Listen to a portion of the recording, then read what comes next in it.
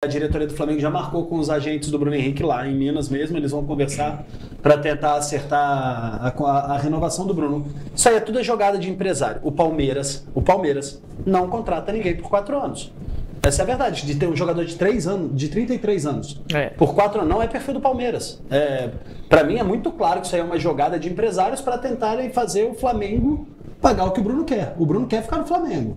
É, e aí, o que que rolou? O Palmeiras, de fato, fez uma proposta de 3 anos, o Flamengo estava irredutível na de 2, estava irredutível na de 2. Quando o Flamengo acenou, acenou a possibilidade de botar 2 mais um com metas, aquela coisa, ah, se você atingir tantos jogos, etc. O Flamengo acenou para essa possibilidade, o empresário dele falou assim: vamos aumentar lá com o Palmeiras, que eu quero os três cravados tal.